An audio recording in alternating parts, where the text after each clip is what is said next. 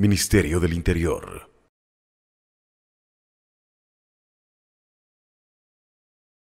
Estamos como gobierno ya casi siete años construyendo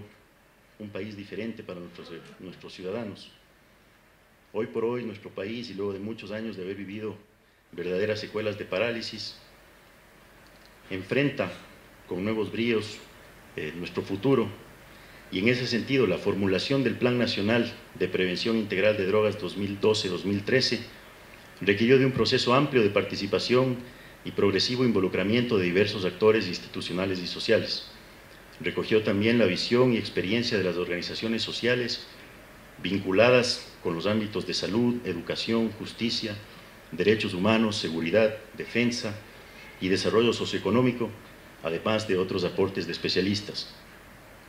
Se contó también con el aporte del Comité Consultivo del Observatorio Nacional de Drogas, integrado por representantes de la academia, de organismos de investigación y de instancias de protección, especialmente de niños, niñas, adolescentes y jóvenes. Este trabajo, es importante destacar, este trabajo de prevención se ha hecho en conjunto, de manera coordinada con otras carteras de Estado e instituciones gubernamentales. Ecuador no ha sido un importante centro de producción o de tráfico de drogas ilícitas,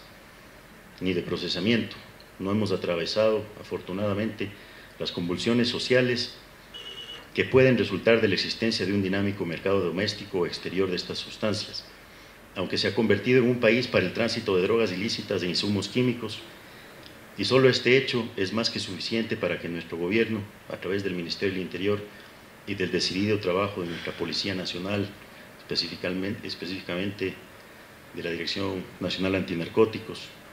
acertadamente dirigida por usted, General Barragán,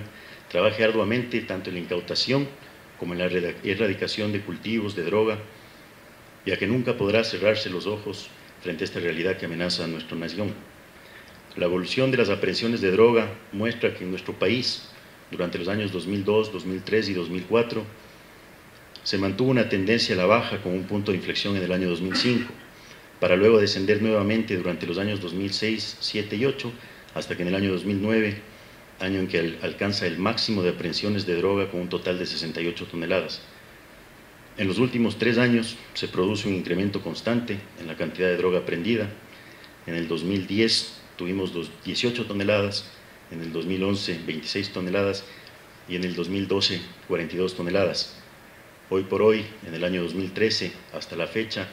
Estamos cerca de las 40 toneladas de incautaciones, 38.3 para ser exactos, lo que nos hace prever que superaremos también el monto de incautaciones de droga que se realizaron en el año 2012. En ese sentido, otra vez, como siempre, mi felicitación principalmente a, nuestra policía, al trabajo decidido de la Dirección Nacional Antinarcóticos y también al trabajo coordinado con las diferentes policías y autoridades de nuestros países amigos. En el informe del UNDOC estadísticas sobre la tendencia del tráfico de drogas en América Latina y a nivel mundial, se informa que en el año 2011 más del 70% de las incautaciones mundiales de cocaína se efectuaron en países de América Latina y el Caribe, lo que muestra los positivos resultados que arroja esta arraigada tradición de hacer cumplir la ley y de cooperación entre los organismos de América Latina y el Caribe. Por eso creemos importante espacios de debate, espacios informativos como este, en los cuales se examina en conjunto los avances y nuevas amenazas, donde se elaboran recomendaciones a los estados y especialmente se promueve la cooperación en la lucha contra las drogas a nivel regional y mundial. El Ecuador da la bienvenida a la vigésimo tercera reunión del ONLAC,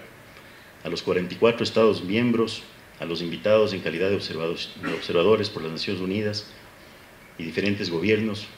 entre ellos representantes del Sistema de Naciones Unidas y de organizaciones e instituciones intergubernamentales o no gubernamentales y a los funcionarios de la Secretaría de las Naciones Unidas. Quiero terminar con otro tema, otra reflexión fundamental que creo que todos estamos de acuerdo, pero nunca está de más poner énfasis y que lo mencionaste tú también, estimado Flavio. Pese a todos los esfuerzos que hemos realizado entre los diferentes países y en cooperación, el tema de las drogas sigue siendo un problema a nivel mundial. Y esto lo que demuestra, y esto es lo que tú mencionaste, es justamente la importancia de trabajar en conjunto. la importancia de hacer un trabajo coordinado, la importancia de mejorar la cooperación internacional, interinstitucional, la importancia de enfocar este problema desde absolutamente todas las perspectivas que sean necesarias. Nosotros como gobierno siempre ratificaremos nuestro compromiso de trabajo con absolutamente todos los países, con todas las instituciones que estén en esta misma línea, porque nuestro objetivo, y creo que es un objetivo común